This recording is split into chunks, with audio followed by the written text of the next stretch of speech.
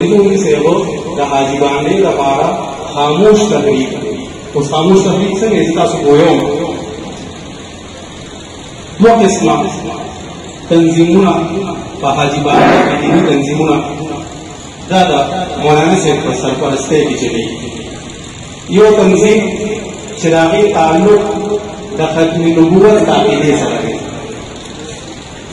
حضرت مولانا صاحب د دې لپاره فکرمن وي چې په حاجي باندې کې زمونږ د یو مرګري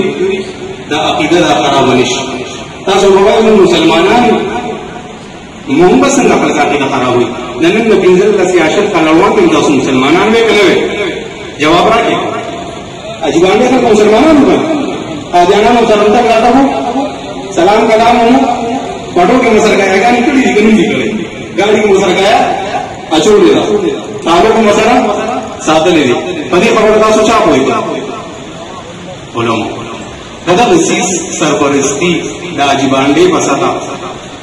مولانا مزربي صاحب وایي د ټولې حاجي باندې لپاره چې کارمند وي او د هغې لپاره بیا ناست وي او ملګري مقرروي او کله کله زموږ هفتوار بیانونه کوي او موږ ګرځو زموږ صرف دغه مقصد وي د دوی په سرپرستۍ کې او دوی موږ سرپرستي راکړې او موږ ته لار ښیي او بیا موږ ګرځو او تاسو خبرو چې ختم نبوت عقیده څنګه ده او د دې د حفاظت لپاره ذرایع څه دي دا د دوی په سرپرستۍ کې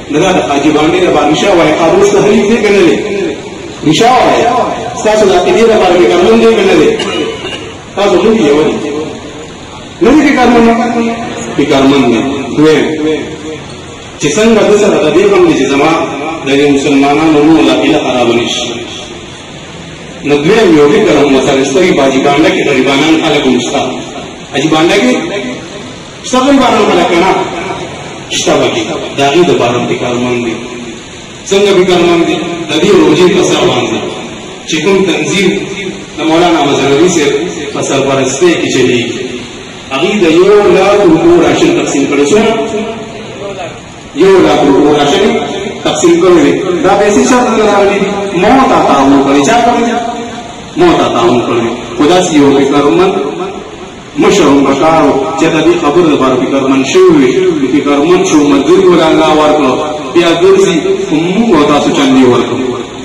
خو چې څومره چنده ورکول پکار دي او د دې څومره ستړي وي نو هغومره چنده نه راټولېږي ځکه چې د شپې اړوندې ورځو کې قاري حیدر صاحب وي موږ دولس بجې د مشورې نه فارغ شو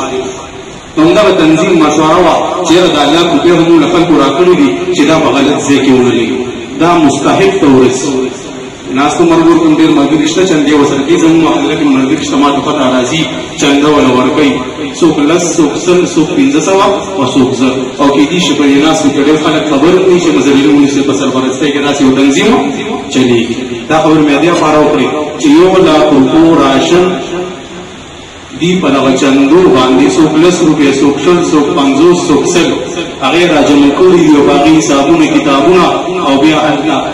لاک روپو راشنې په روژه کې واغشتو او د حاجي باندې په غریبانانو کې تقسیم تقریبا دوه دوه نیم زره روپۍ یو کس ته ورکړې وې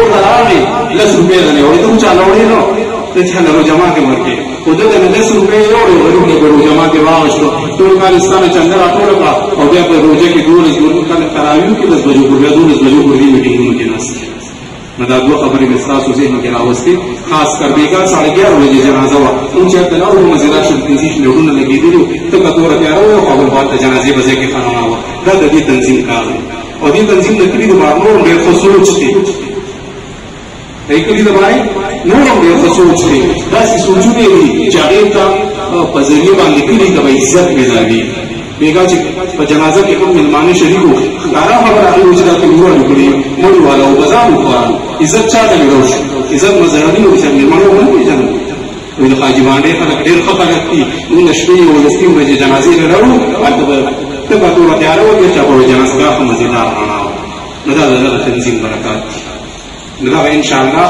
د چا لس روپۍ اوس کېږي شل روپۍ اوس کېږي دي سره ځان ربط کې کې په دې ثواب کې او د حاجي باندې په دې عزت کې ځان شامل کړي زه اوس حضرت مولانا مظهر علي حقاني صاحب په دعوت ورکوم